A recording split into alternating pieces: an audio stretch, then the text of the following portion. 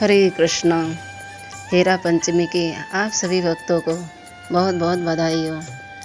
हेरा पंचमी भगवान जगन्नाथ के रथ यात्रा का एक बहुत महत्वपूर्ण अंग है। रथ यात्रा शुरू होने के पाँचवें दिन हेरा पंचमी का उत्सव मनाया जाता है। यह हेरा पंचमी कहीं कहीं होरा के भी नाम से जाना जाता है। पंचमी यानी पाँचवा दिन। मान्यता है कि भगवान जगन्नाथ रथ यात्रा शुरू करने के पाँचवें दिन देवी लक्ष्मी की यात्रा शुरू होती है।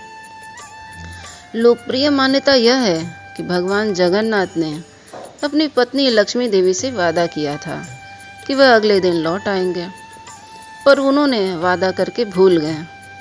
अब माता लक्ष्मी इंतज़ार करते करते, हर दिन इंतज़ार करती थी कि जगन्नाथ अब आ जाएँगे, अब आ जाएँगे। पर ये क्या, जगन्नाथ तो भूल गए। पाँच दिन प्रतीक्षा करते करते हो गया। तभी माता लक्ष्मी को गुस्सा आया, बहुत नाराज़ हुई और उन्होंने तुरंत सेवकों से आदेश दिया कि जाओ मेरी पालकी तैयार करो और मैं गुणीचा मंदिर जाऊँगी, जगन्नाथ को लेने। तब क्या होता है?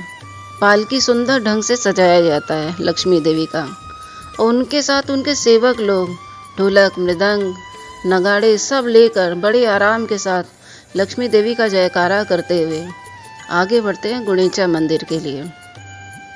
गुड़ीचा मंदिर के पास अंदर में वो लोग प्रवेश करते हैं।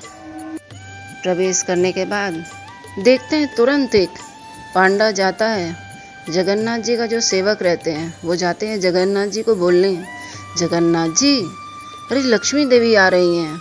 पूरे सैनिक के साथ अपने सेवकों के साथ, ढोल मृदंग के साथ थोड़ी नाराज़ प्रतीत हो रही हैं। तभी जगन्नाथ को याद आता है। अरे, मैंने तो वादा किया था लक्ष्मी से, मैं एक दिन में लौट कर आऊँगा। अब तो लक्ष्मी बड़ी नाराज़ होगी। अब मैं क्या करूँ? तभी जगन्नाथ मिलने जाते हैं लक्ष्मी देवी से। और लक्ष्मी माता थोड़ी नाराज़ हो जाती हैं और उनसे बोलती हैं, आप चलिए अब। आप एक दिन बोल करके आए थे। यहाँ प्रतीक्षा करते हुए पाँच दिन निकल गया। अब आप वापस चलिए। जगन्नाथ बोलते हैं, मैं कुछ ही दिनों में लौट आऊँगा। उन्हें गर्भगृह में पांडा लोग लेके जाते हैं और उन्हें सन्माती माला पहनाते हैं। और वादे के तौर पे वो बोलते हैं कि माँ लक्ष्मी बोलती हैं आप चलिए। फिर जब वो बाहर निकलती हैं, थोड़ी नाराज़ होकर जगन्नाथ जब नहीं जाते तो उन्हें दही अर्पित किया जाता है। तभी लक्ष्मी जी को बहुत क्रोध आता है कि भगवान ने अपने वादा से मुकर गए कि कैसे मेरे पति हैं? इन्हें तो मेरी कोई चिंता नहीं है। जब क्रोध में लक्ष्मी देवी जाती हैं, बाहर निकल आती हैं तो एक पेड़ के पास छिप जाती हैं। अपने सेवकों से कहती हैं कि रथ को तोड़ दो। तो ये परंपरा है। लक्ष्मी देवी रथ का कुछ हिस्सा थोड़ा सा तोड़ देती हैं। तो क्या होता है? इधर जगन्नाथ के सेवक और इधर लक्ष्मी जी के सेवक। दोनों मिलकर आपस में झगड़ा करने लगते हैं। उन लोग में लड़ाई होने लगता है। और वो लड़ाई उन लोग का आगे बढ़ जाता है।